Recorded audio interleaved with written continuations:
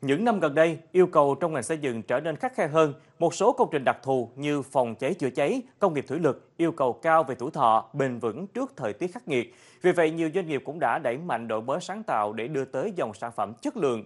Trong đó nổi bật là ống kẽm nhúng nóng của Hoa Sen Group.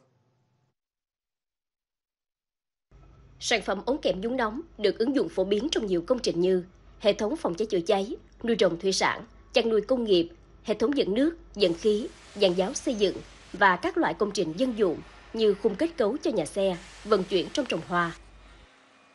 Ống kẽm nhúng nóng hoa sen được sản xuất trên một cái ờ, dây chuyền công nghệ ờ, hiện đại bậc chất hiện nay.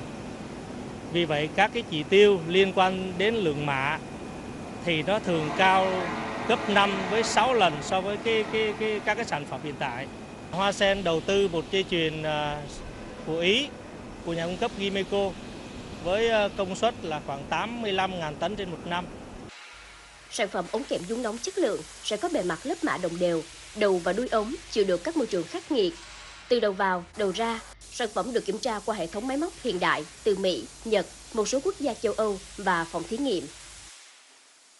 Tại dưới trình mà nhúng chúng tôi sẽ tiếp tục kiểm tra các cái chỉ tiêu về độ bám dính, về độ mạ, độ va đập thông qua một loạt máy móc thiết bị nhập khẩu từ châu Âu như máy kiểm tra bịt kéo, máy siêu âm khuyết tật toàn thân, máy đo độ cứng, máy đo độ bền uốn và khi hàng hóa chúng tôi đạt hết tất cả các chỉ tiêu đó thì cái đó sản phẩm mới được phép nhập kho và cung ứng ra thị trường.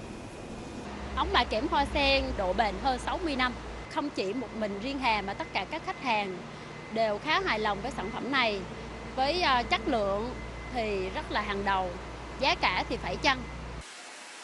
Ống thép mà kẽm nhúng nóng Hà Sen đáp ứng theo các tiêu chuẩn quốc tế như BS 1387, BS 10255, ASTM A53, AS 1074, ASTM A795